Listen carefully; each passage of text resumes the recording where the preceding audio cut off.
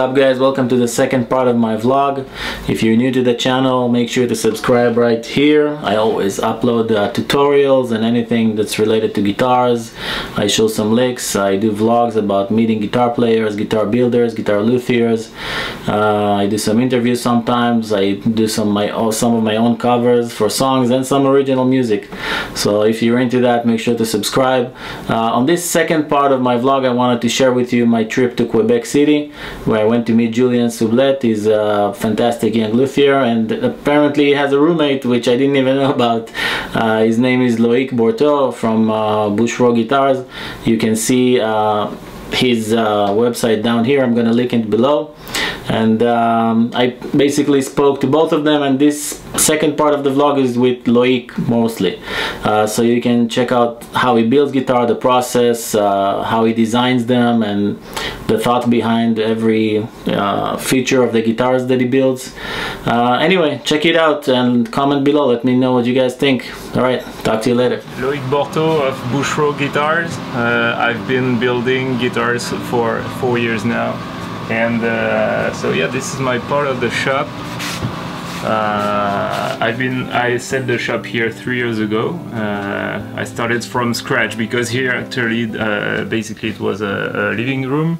Oh okay. uh, well it was a it was a yeah a room like really not uh, meant to become a, a, a workshop but I, I have like very good uh, owners that let me do pretty much everything I, I in here. Nice. And then to split the to, to split the the rent uh, and to give uh, people opportunity to start uh, building, I I rent another space next to mine to uh, to have a, a young builder with me. So Julien from Sublet Guitars. Hi, Julien from. yeah. yeah, so we both uh, graduated the, the same Luthery school in Quebec City, uh, and which is a pretty good base to start start building on our on our own. Even though the this school is pretty underrated and not very well known, but uh, yeah, we're we're now building here. So yeah, that's yeah I mean they look great we'll do some playing videos soon I have two guitars on the bench right now, uh, both OM models uh, with uh, Indian, wo- Indian rosewood back and side and Sitka spruce top, uh, both for customers. Uh, very, very uh, basic entry level guitars, no fancy thing uh, about them. But uh, yeah, that, that's what pays the bill. So. And then after that, I'm gonna uh, start two new uh, builds. Uh, one new model, uh, a small jumbo model, and also uh, a fancier uh, OM model with ziricote back and sides and uh, and what kind of wood is this Indian rosewood Yeah, Indian rosewood. Yeah. wow it's beautiful Yeah, I just finished binding those those bodies, uh, and I'm gonna uh, apply the varnish on them in about uh, a couple weeks.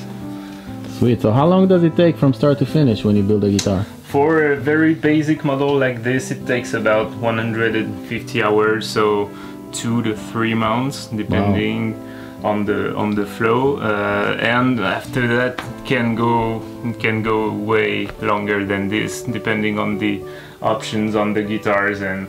Uh, so a basic one is like two to three months yeah. And then if we go with a very fancy model, it can go over 250 hours in there and over six months. wow Yeah.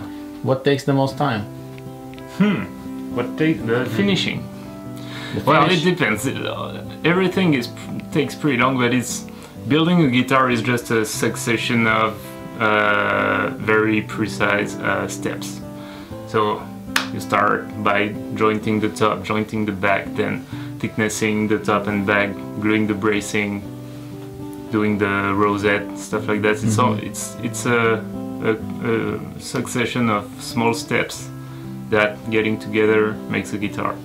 But I guess the finishing is the the the longest uh, step also for the for the mind because it's pretty yeah it's Everything has to be tight. Right? yeah it has to be perfect and you can do the the best job in the world on woodworking but if your finishing is, is not is not right you just screw up all the work you've done before so endless learning process Yeah, for sure. yeah I can even start to think how to begin something like that. If you want to see a, a fancier model I can show you this one Yeah. this So one these are all your builds over here? Um, uh, pretty much. Uh, those three here are mine. This one is uh, f- uh, belongs to a client of mine, and those two here are uh, my uh, roommate's guitars. He, Oh, wow. he made at school in the So you guys are all builders here. all years, yeah.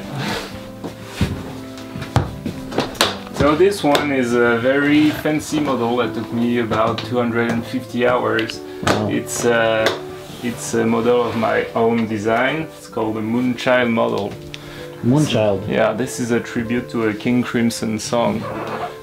All right. So this one is is the Let's The other to the light so we can see a little yeah. better. Yeah, show it to us. yeah. So this one has a sinker red cedar top and uh, Macassar ebony back and sides. Wow. Madagascar ebony? Yeah. Back and sides? I've never heard about yeah. ebony as all for the solid, body. all solid wood. Yeah. Wow. It can it can happen sometime. And so mahogany Look neck. at this wood. Hold on, hold on. yeah, it's Beautiful. pretty dark, but you have a lot of uh, like golden, uh, goldish stri- uh, stripes Wow. in there. And a lot and a lot of fancy details on. So all the binding is uh, black ebony as as well. wow. So pretty dark themed uh, guitar. And what kind of neck is that? Mahogany? Yeah, uh, curly mahogany. Wow. So this one features a armrest, uh, cutaway, plated cutaway, Uh-huh. because this shape is pretty unique. And so when you do the when you do the, the symmetry between the shoulders of the body, uh, you get this point here. And if you put the the cutaway here, you, you you have a plate when you where you can you can get a bit crazy on the decoration here. Wow. Yeah. So what, And- what does this symbolize? Anything or Well, I'm, it would pretty much went with the flow of what I was feeling when I was designing the guitar. Uh, I, I tried to, to keep the same theme all around, so this is cocobolo. Um, here it is a kind of uh, mosaic with uh, Macassar ebony and uh, maple uh, veneer, and then this is some blue burl, blue uh, maple burl. So I, those three uh, elements, I tried to repeat it on the rosette here, here on the truss rod cover as well. beautiful? Yeah, Well, we need to hear that also. yeah. You want to I play for us something? Uh, I can let you play if you want. I'm not. All I'm not so great of a player, and I have no nails. So how, how does this how does this work? Like, cause I see it's very yeah, this is a fan fret guitar. So basically, each string uh, has its own scale length. Okay, so the uh, bottom string is 26, 26 inches scale length, and the Okay. the treble string is 25 inches.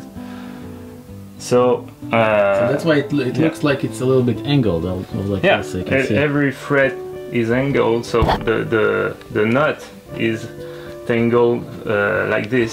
yeah, it gives and- it a very dynamic and look. the saddle is is in, tangled in the in the other way, which makes that the bass strings have Mm-hmm. more length than the than the treble strings, which helps for the bass response Oh, okay. because you have more more tension on the on the bass end of the guitar. Yeah. Sweet. And also sometimes some some players like it for the the ergonomic side of it. So y- you you can think you would think that uh, it would be a bit odd to play on this, but actually you don't really feel it, and it, and even for some uh, positions it can be easier. I think, yeah. Cool. We'll check But, it out. in yeah, a you can give we'll it a play spin. something on it. Yeah, Yeah. Definitely. So what's the name of this guitar? This is a Moonchild, Moldchild, right? Moonchild model. Yeah, this is a pretty small sized one, close to a double O guitar. Mm-hmm. Uh, but yeah, my, I love this model. Um, I love the wood here. I've, yeah, this is Sinker Red Cedar from BC, Canada. Wow. And a very old wood, perfectly quarter uh. Yeah, I love it. I finished this one in May Mhm. this year, and uh, yeah, it's up for demos and showcase, guitar showcase, and uh, I, I plan to travel with it uh, wherever I can go to show it. So. Nice. It's yeah. also got an armrest here, I see. Yeah, exactly. Yeah. That's ebony? Uh, well, the binding is ebony, and actually, uh, the the veneer on there is just uh, black uh, black stained veneer. hmm And so this is kind of a squared arm bevel, pretty tricky to make. Yeah. Yeah. Not a lot of people do that. Also, I have I, I incorporated a small thumb rest on the corner of the cutaway here. Wow. A lot of thought, a lot of ergonomics on this one. Yeah, ergonomics and And when the fretboard is also ebony? yeah. Nice. All right, we need to hear this. All right, we'll Okay. check it out. How does this How does this work? Like, cause I see it's very Yeah, angled. this is a fan fret guitar. So basically, each string uh, has its own scale length. Okay, so the uh, bottom string is 26, 26 inches scale length, and the, Okay. the treble string is 25 inches.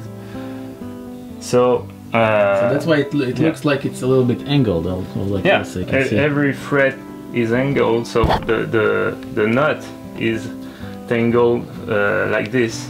yeah, it gives it a very dynamic and look. the saddle is is in, t- t- tangled in the in the other way, which makes that the bass strings have Mm-hmm. more length than the than the treble strings, which helps for the bass response Oh, okay. because you have more more tension on the on the bass end of the guitar. Yeah.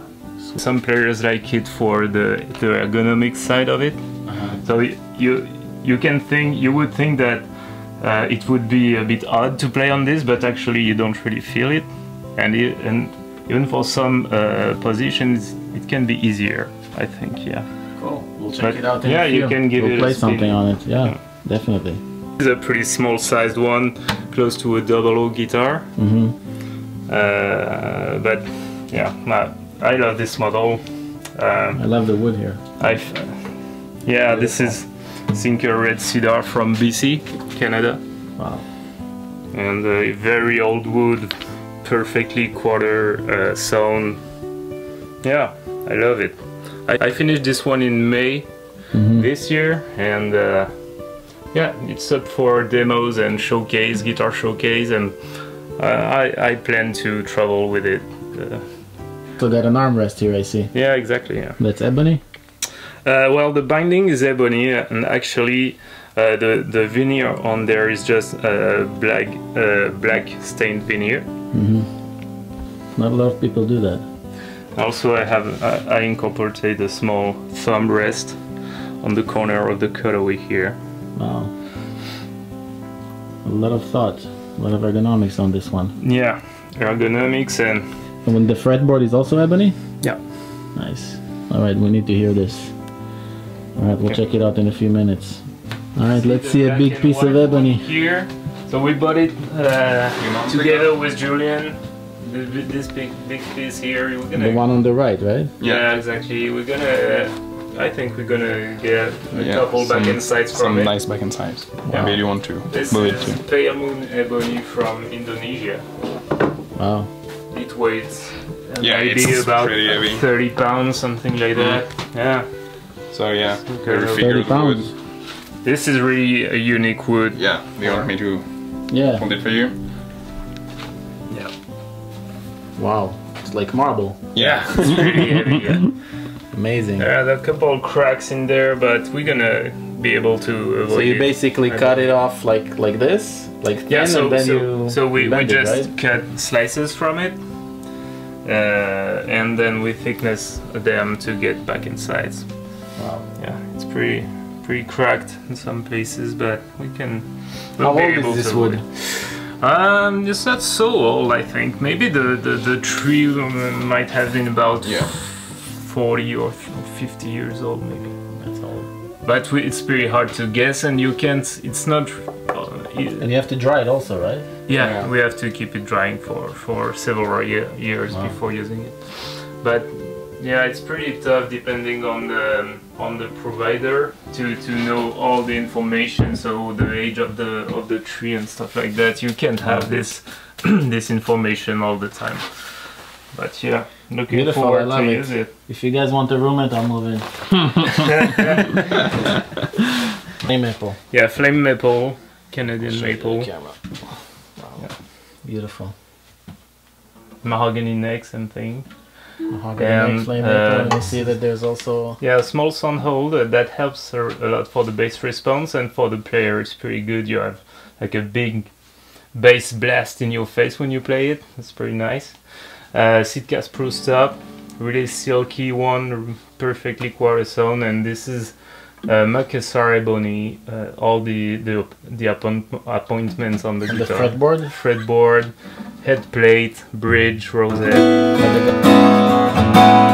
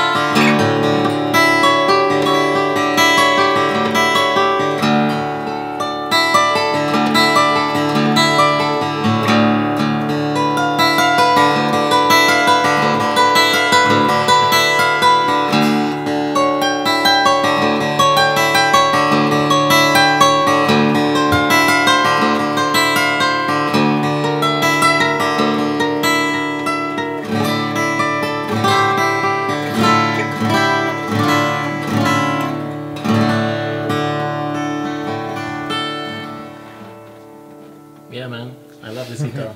Cool.